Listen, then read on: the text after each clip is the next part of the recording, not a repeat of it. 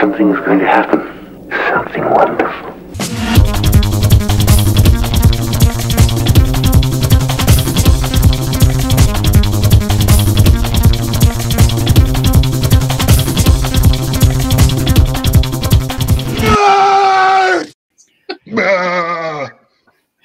G'day, fans, and welcome to another exciting episode of Talk Nerdy to Me. Here we are again. Everybody's locked down. It's 8 p.m. The curfew's kicked in. You got your masks on.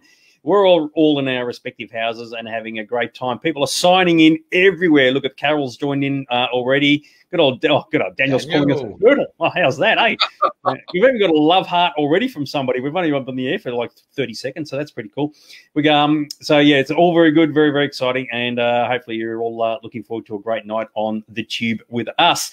Uh, before we get too excited, I've got to introduce my lads, uh, MBS and Jeffro. How are you tonight, boys? Most excellent, dude. Cowabunga, dude. Jeepers creepers. Let's move along. So there we go. Uh, we're going to have a bit of a chat about alien invasions. Um, this is a bit of an informal, just a bit of a gas bag, actually. Uh, I was thinking about this uh, just not that long ago, thinking about all the movies and TV shows where aliens have invaded the Earth, right? Like we don't invade human beings don't invade anything. It's always them coming to us, whether they're from Mars, Venus, somewhere else, right? Now, if you go back to the 1950s, they'd come in with all guns blazing. You know, the ships coming in and blowing the shit out of everything, right? And even as far as up like the Independence Day, it was like, nah, just come on in, blow, blow the crap out of everything. And then you got to ask yourself, well, really, if you wanted to take over the Earth, is that how you would do it? Uh, and then, of course, if you look at it a bit more surreptitiously, there are those programs where they sort of just quietly sneak on underneath, like Invasion of the Body Snatchers, an absolute classic. Uh, how to take over the Earth? You know, you're sort of replicating the people there, and of course, V uh, in both formats uh, was all about they arrive here as the aliens arrive here as friendly visitors, uh, but on the QT they're taking over everything and they're going to destroy the Earth. And uh, I was just intrigued to see. It was just a bit of fun, really, about um, what you guys think about alien invasions, mate. The one if you're going to take over the, this Earth, how would you do it? And don't say a COVID virus because that's not the answer to the question. Um, uh, of all the options, what do you reckon is the way to go, mate? I'll start with you, MPS. Oh, look, when you talk about strategy, you talk about dominance and, you know, come in all guns blazing, take over a section, you know, take me to your leader, kill the leader, and then you take over. Why not? It's the simplest, easiest way to invade somewhere. Maybe not the best way, but, you know, if you look at, say, like we mentioned, Independence Day or even Battle of the Planets, they had um, uh, those guys coming through trying to take over the, the, the um, take over the earth. It, it, it's it's come in big guns, survival of the survival of the fittest, you know, biggest dog, all that sort of stuff. So that's the way I'd probably do it.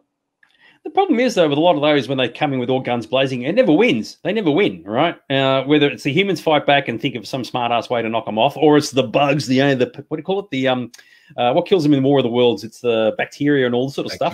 Um, you can it, it- none of those things have ever worked except for uh, off the top of my head, Oblivion. That's the only one I can think of where uh, the aliens actually won. So uh, The- that's the, the- Tom, Tom The problem with like Independence Day, they came in and waited for four weeks or whatever it was. You know, they took their time. They need to come in under the radar, take a few countries out. You know, obviously do your research, fly around in your in your stealth capable spacecraft for a couple of weeks, work out where all the, the big ones are, and then just take out the mass areas. It's it's not too hard. It's the waiting game. You know, you come in and you wait for a while, and you know, number twenty seven, you can come and invade the Earth this week, and next week's number twenty eight. You know, just you would think that the Martians and the Venusians are looking at each other and they're going, well, these guys kind of screwed it up.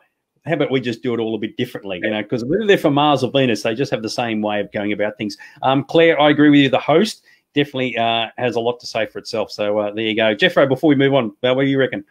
Yeah, I mean, I think the uh, the host is definitely the most cleverest because I mean, that's the way the alien was tempting to sort of get into uh, Earth. You know, sort of uh, put itself in uh, Ripley or w- whichever uh, organism it wanted to. So that was very clever. Uh, we also saw that I think in um, uh, one of the Quatermass movies where it's like you know the astronaut was uh, infected, so he'd come down people go, oh, he looks a bit strange, you know, and all that. And eventually, sort of, he does morph into a, um, big, ugly sort of monster.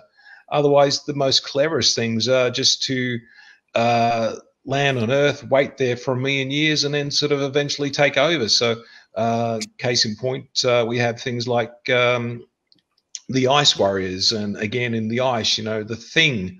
So, you know, they've been there for absolute ages. You know, just just wait and you know just uh, take your time and sort of when the time is right, bang, just uh, come out and uh, go surprise, surprise, surprise. Going to get taken over by a whole lot of Gomer Pyles. Is that what you're trying to suggest? That, so, that's right. Particularly, I mean, if you don't have the uh, the ammunition, uh, then um, you know that's the way to do it. I mean, if you've got the um, Independence Day ships, uh, or if you've got the Mars attacks sort of uh, weaponry, then yeah, come in guns blazing. But uh, if you don't, do it the uh, the subtle way. Yeah, like what Greg has said, you know, with all the movies and TV shows as a reference, I'm going to put this up there so you can sort of see it. Um, yeah, I mean, you would have thought that they've sort of planned these things out, okay? And in fact, if you're an invading alien species, you would almost say, watch some of the movies on Earth, realize what not to do, because you can, you know, in the plot of the story, the humans figure out a way to defeat the aliens. You go, okay, maybe that's not the way we should do it. Maybe we should do it some other way. So um, you just sort of do wonder what their motivation is. But I like that Ange, ack, ack, ack, ack. from Mars attacks. Because I always thought that was funny because that's why things like V work so well. Okay, so they actually turn up here, and if, and and their plan was to fit themselves within the population, make it look like they're um, being beneficial to everybody. We're here in peace, all this sort of business, you know, cure cancers and all sort of stuff. Uh, get the scientists. I thought this was such an interesting spin. The scientists were the biggest threat to them because the scientists would be able to figure out that they weren't uh, human and they were actually reptilian and whatever else and discover their nefarious plans. And of course, the idea being that they then start up a um, uh, what do you call it? And, um, trying to get all the scientists taken. I've forgotten the word. Um, there's a, a conspiracy. That's right. To have all the scientists arrested and that way they could take them away, control them, and then that way humans wouldn't think anything of it. And I thought that was such a novel way of going about it. I mean, the fact mm. that the uniforms all look very militaristic probably didn't help, um, and there was a lot of references to World War II and Germany and all that sort of thing. So, but in terms of doing something different, it uh, it actually had the potential to work quite well. And of course, the key thing is is you want your human population to to welcome the visitors from another world. So when they turn up here, you can say, "Oh, actually, we want them to turn up. We want to be your friends. We want to join your youth groups and all the rest of it." And uh, I actually thought that was very, very clever. And clearly, it was uh, uh echoing um, uh, events that had occurred in Germany in World War II. Jeffro. Yeah. Now, uh, in the same vein, the one I'm going to offer is Captain Scarlet and the Mysterons, because basically uh, the Mysterons were um, uh, attacking Earth, but what they do is they kill off the person and then they replicate it. So basically, they have uh, a, an evil clone essentially of that person. So very much like you know they can just walk around and nobody knows the difference, but you know they've got that evil agenda. So that that's one I thought would um, fit into that category. But the that's uh, sorry, yeah. I was going to say in um, uh, Invasion of the Body Snatchers ended up like that. Even in mm. the hmm. not in the original '50s movie, but in the '78 movie, the aliens actually won by doing that. But continue on. Yeah, but the uh, the really good one is the uh, uh, the creatures that basically going to take over the Earth, and they were already here. And the example of that one is uh, the Day of the Triffids. So these were plants that walked around, so they're already here. We were harvesting them, and it just by sheer misfortune that everyone looked up at a uh, uh, bright lights in the sky and blinded themselves. It's like these guys going, ah, now it's time to take over the uh, the earth. So that they were there and um, they just took advantage of the opportunity. And I thought that was just uh, just a, a, clever way of sort of having someone who's going to invade us uh, just saying, well, I'll just wait, and if the time's right, I'll do it. Um, Ads has mentioned about did humans start the fight in Captain Scarlet? Yeah, basically, what happened was that we sent a, a Martian excursion vehicle to Mars, and um, what happened was that the Martians were putting up essentially like a, a radar dish, and um, we interpret that to be a sign of aggression. So we basically fired upon them. So um, uh, that just meant that uh, we started the war inadvertently. Uh, Claire's mentioned Starship Troopers. Now, I don't know about the book, but in the film, I think you'll find the bugs, uh, the aliens from Klendathu, uh, initiated that. So there was a bit of skirmishes between the humans and the bugs to start with, and then of course they sent a bomb through and blew up Argentina. And of course once they did that, uh, it was all on for young and old. So um, I think that's the, even though the humans invaded um, Klendathu after that, uh, I think it was one of those worlds. Um, yeah, I think the bugs may have initiated that. So there you go. Because um, you do sort of wonder how many uh, productions where I mean there aren't many films where he, uh, aliens come to Earth and they're actually benevolent and they're actually kind and, and, and, and sweet and all the rest of it. Like you can think about a couple of handfuls like Starman and ET and all the rest. Most of the time they're down here just they, aggressive. The day the Earth stood still, classic example. Well, that's exactly right. So, uh, um, and of course, had that that could have all ended quite badly for everybody because um, they could have easily just unlo- uh, unleashed Gort. He could have just destroyed everything as he was able yeah. to do. So, um, but yeah, I think the idea of coming in and taking people over, get to in a second, PS, uh, taking people over probably works out the best way. And I think The Hidden uh, is another movie that did something similar as well because that, like Invasion of the Body Snatchers, of the host, mm. and all that, that seems to be the yeah. way to go uh, rather than coming in with all your big ships and uh, making a mess of everything. MPS. I was going to say one of the most interesting ways that I've I've noticed in a television series that turned out to be a film much much later on was you come in and, and try and eat all their cats like you did in our. you can invade via uh, a different means. Forget the humans at this point. Just frustrate them all till they, you know, get um, completely insane. But chase after the cats. I think that's the way that there uh, that theory should work. Um, Aaron, uh, sorry, uh, Ads is right. Yes, the aliens in Close Encounters of the Third Kind are also very, very friendly. Um, Aaron, morons from outer space. If you had morons from inner space, it'd be probably us three just here. So there you go. Uh, golly, golly, golly. Um, I forgot what I was going to say now. Um, Feed me, Seymour, Close Encounters of Morons from Outer Space, as with the Balkans. Yeah, yeah, something is out there. Oh, I've just gone blank. I knew what I was going to say, and it just I've just lost oh, it. So. here's here's one for you. Uh, talking about sort of uh, that sort of aliens subtly invading, and sort of they look like us and all that, but we don't know. Invaders from Mars, another classic example. You're right. And actually, I was just thinking earlier, I mentioned the movie Oblivion. That was the Tom Cruise movie, right? Where all the Jacks and they're all clones. And you're thinking, well, that worked. You know, the alien species took over the Earth then, but of course, the humans in the end destroyed the alien ship. So the humans are still going to win anyway. So, oh, yeah. Oh, that you're going, what? I just thought of another one. I mean, I'm just kicked myself that I didn't realize it. Uh, aliens masquerading as humans. Buckaroo Banzai, the uh, red Lectroids. Uh, I just couldn't believe that I had completely overlooked that until just now. Oh, well, Jeffrey, here's what you should do before we do any show. Watch Buckaroo Banzai just again and again and again to get any reference because you seem to forget about it in a reference point of view for almost every episode. Yeah. Now, now here's one for you. Why don't they make a movie right where it's Mars versus Venus? And you're sitting in here, like, and you've got your deck chairs out there, and you, all the spaceships are fighting out in the sky. And you can see them out in space or whatever, because you have got all the, the, the, space stations, whatever. And you're just watching them all, just blowing the crap out of each other, just sitting there and thinking, "This is grouse." It's like you know, like Days of Our Lives TV, just for free. Those two planets are versus each other. That'd be something different, wouldn't it? So, mm. um, but uh, yes.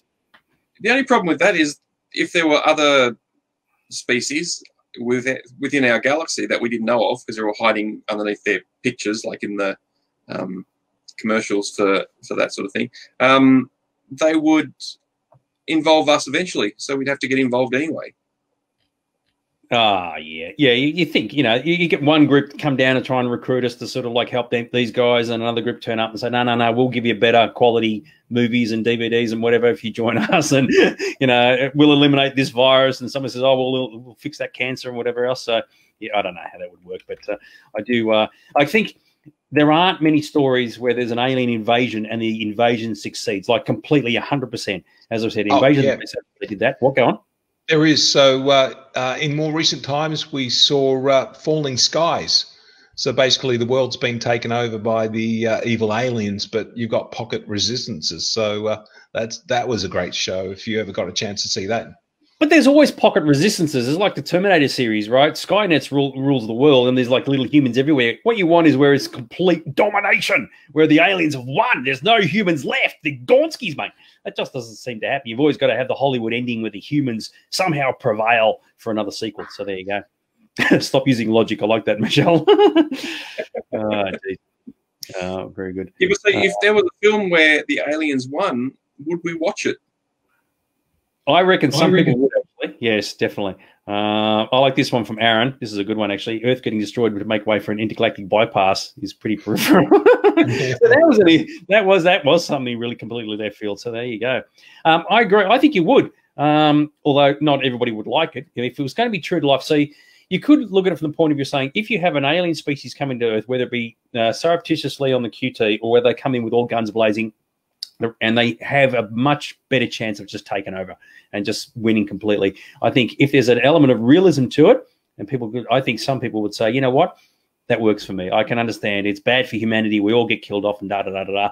But it would be a true story because even in uh, the show Cosmos by Carl Sagan, way back in the 1970s, he said that if you have two spacefaring uh, cultures and they meet in space, one is easily going to be more technologically advanced than the other, and it's just going to be no contest. They'll just wipe them out like it's nothing, right? And uh, and I that would apply here as well. So, um, but I think some people would go for it. I mean, it'd be depressing, but I think that uh, people could say, "Yeah, that works for me." So there you go. I, th- I thought of a really good one. So, uh, in the case of uh, Star Blazers, the Gamilons just sent uh, bombs from a far distance and just kept pounding the Earth. So essentially, they didn't have to be anywhere nearby. They just uh, sent all these uh, uh, planet bombs and just um, uh, started destroying the Earth. So it's like from the comfort of their own chairs.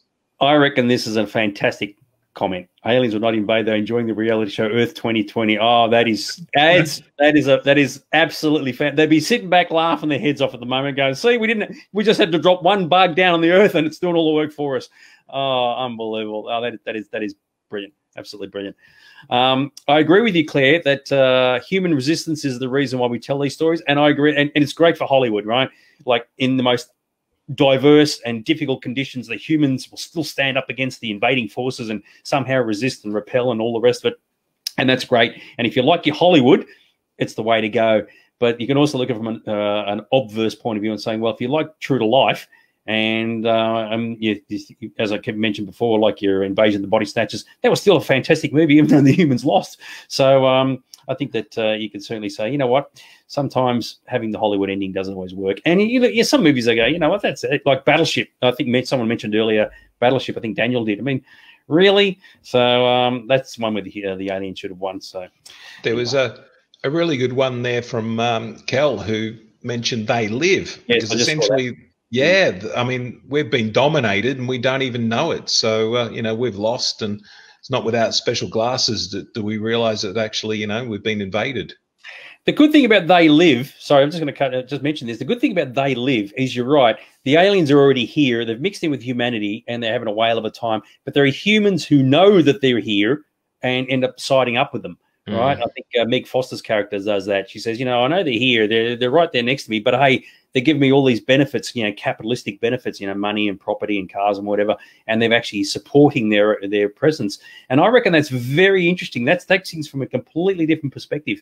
And you go, if that happened in real life, right? If there were aliens amongst us right now, but they were actually boosting your lifestyle, making your lifestyle happier, and you think, okay, well, I just got to accept the fact that there are aliens here among us. I reckon some people would go for that. So uh, there you go. Very, very cool. It sort of reminds me of sort of reminds me of the Matrix, you know, sort of uh, uh, just give me the fake steak, you know, and I'll I'll you know sort of follow you blindly. That's exactly right. What you don't know doesn't hurt you. MPS. I was going to say, I'm sure that there would be some people similar to like in um, Thor Ragnarok, where Karl Urban's character, um, Ragnarok, was it Thor two? I can't remember which one.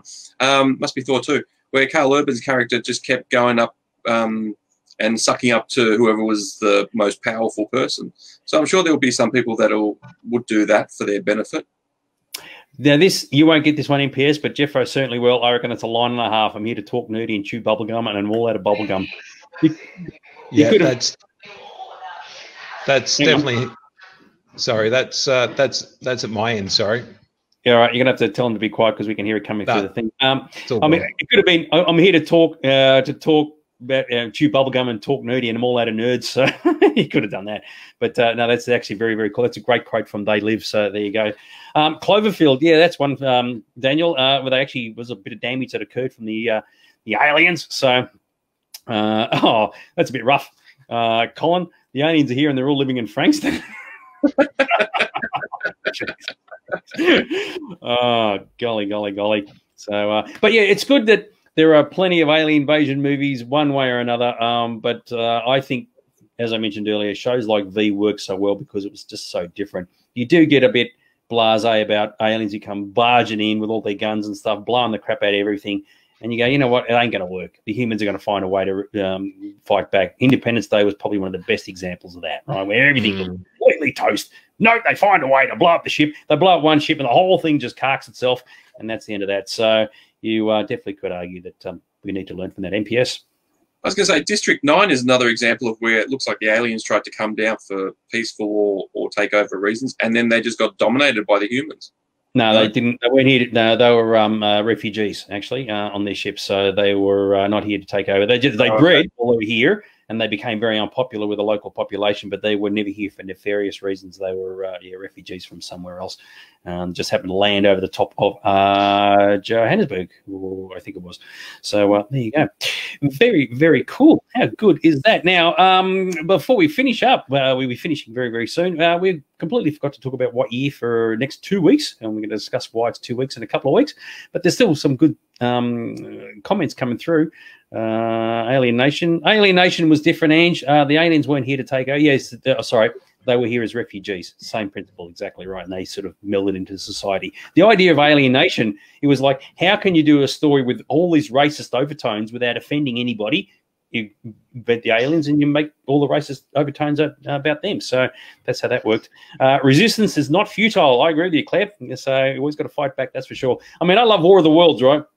The aliens turned up here. They've got clearly all this superiority, and they completely of all that forgot to do all their biological tests to say, hey, what parasites are out there? They come out of the ships not wearing any helmets or anything, and of course they were doomed to die after that. So uh, there you go. Very I, ju- very I cool. just I just thought of one really obvious one. What? The Invaders, the television show. Mm. I mean, it's got the name in it, hasn't it? The Invaders. It does indeed. So there you go. But uh, there's one thing for sure. People always love a good alien invasion story. And if they're coming down here destroying shit, and Independence Day when they blew up those buildings in the White House, that was pretty grouse. You know, Mm. imagine saying if you worked in the White House, you go, yeah, my office is just down there. And if I, had been sitting there and back in 1994, I would have been blown to the shit house. but um, it, it was it was good fun, and I think people are going to love that. Providing I think the humans win in the end. So um, uh, there you go. Very good. All right, it's nine thirty. It's time for us to buzz off, even though we've still got oh, actually people leaving us already. So they've, they've had enough nerdy talk from us. So we're going to buzz off. Any final words before we go, lads? No, Not really.